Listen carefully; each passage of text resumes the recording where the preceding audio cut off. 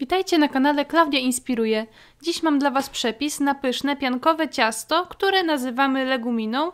Ciasto wykonane jest głównie z jajek, cukru oraz żelatyny. Ciasto jest przepyszne, rozpływa się w ustach i jest po prostu puszyste. Naprawdę warto spróbować je zrobić. Najpierw wyświetlę Wam listę składników, które możecie sobie przygotować lub wrócić do nich w każdym momencie, w którym będziecie potrzebować. Składniki znajdziecie także w opisie filmu. Zaczynamy od wyłożenia okrągłych biszkoptów na blaszkę wyłożoną papierem do pieczenia lub folią spożywczą. Folia spożywcza sprawdzi się tutaj lepiej, dzięki temu ciasto będzie równe. Jest to standardowa duża blacha do pieczenia. Teraz do szklanki lub miski wlewamy 350 ml wrzątku i rozpuszczamy 50 g żelatyny, z reguły całe opakowanie. Pamiętajcie, żeby nigdy nie gotować żelatyny, ponieważ straci ona swoje właściwości żelujące. Po rozpuszczeniu odstawiamy do lekkiego ostudzenia. Teraz bierzemy dwie miski, jedna większa, druga jakaś mniejsza i oddzielamy białka od żółtek. Białka wędrują do dużej miski, a żółtka do jakiejś mniejszej miski przydadzą nam się później. Robimy tak z czterema z naszych ośmiu jajek. Pamiętajcie, żeby skorupki jajek wcześniej zlać wrzątkiem, żeby pozbyć się ewentualnych bakterii i zarazków. Po oddzieleniu naszych białek od żółtek odstawiamy żółtka na bok, do białek dodajemy szczyptę soli i miksujemy na puszystą pianę. Pod koniec ubijania piany z białek dodajemy 1 trzecią przygotowanego przez nas cukru, czyli pół szklanki to jest około 100 g cukru. I tak stopniowo dodajemy, ubijamy pianę na sztywno, tak żeby to była sztywna piana z białek. I tak stopniowo, powoli, na średnich obrotach ubijamy sobie te białka, tak jak widzicie tutaj na filmiku. W międzyczasie podsuwamy nasze biszkopty, bo za chwilę będziemy dodawać żelatynę, a po dodaniu żelatyny trzeba będzie szybciutko zmiksować i przelać naszą warstwę. Wlewamy teraz jedną trzecią lekko ciepłej żelatyny, szybko miksujemy sobie, bo ona będzie szybko tężeć.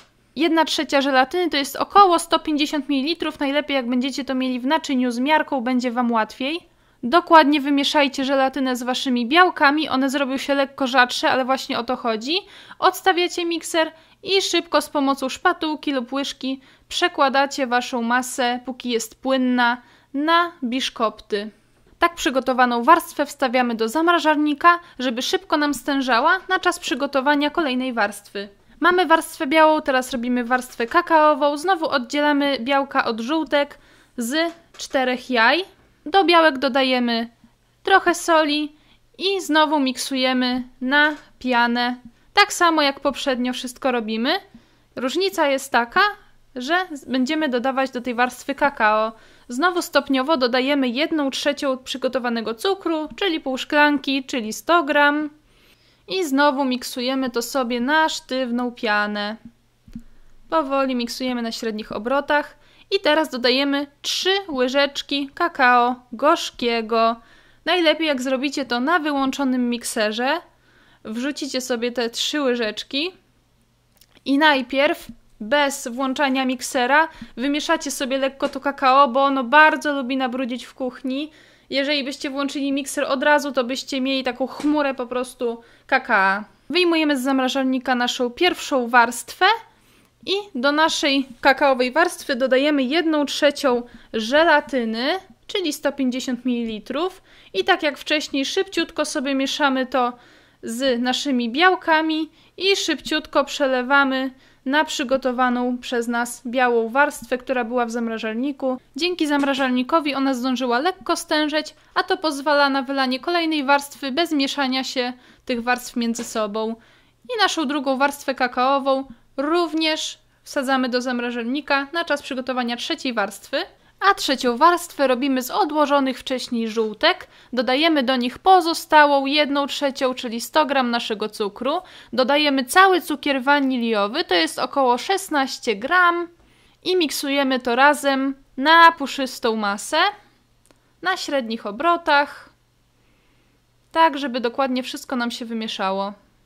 Teraz wyciągamy z zamrażarnika nasze warstwy wcześniej zrobione Włączamy znowu mikser i mieszamy ostatnią jedną trzecią część naszej żelatyny, czyli 150 ml.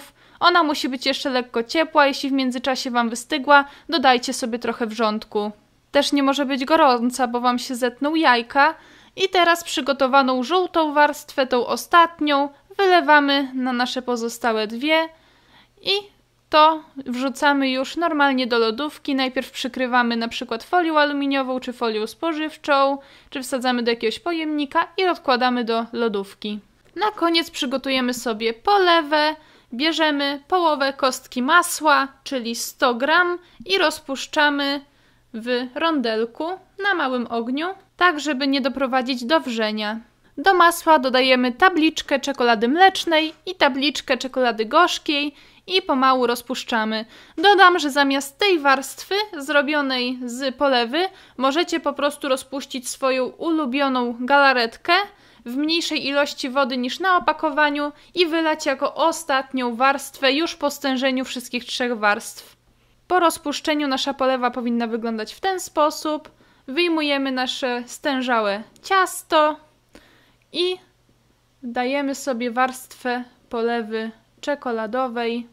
Smak tej polewy będzie przypominał czekoladę deserową. Jeśli nie lubicie, możecie zamiast czekolady mlecznej i gorzkiej dać samą mleczną lub samą gorzką. To już kwestia waszego wyboru. I oczywiście znów wstawiamy do lodówki. Jak zrobicie ciasto rano, to już pod wieczór będzie ono na pewno całkowicie stężałe. Tak ono wygląda po zrobieniu. Jest puszyste, rozpływa się w ustach, ma pyszną czekoladową polewę na górze. Ja najbardziej lubię tą wersję, gdzie zamiast czekolady jest galaretka, na przykład czerwona. Bardzo fajnie to się wtedy prezentuje i smak jest nieco inny, jest wtedy taka lżejsza. Z czekoladą jest taka bardziej słodka. Tutaj mamy warstwę biszkopt, biała pianka, kakaowa pianka, pianka z żółtek i cukru waniliowego, no i polewa czekoladowa. Naprawdę wyśmienite ciasto, można podać nawet gościom i się nie powstydzić.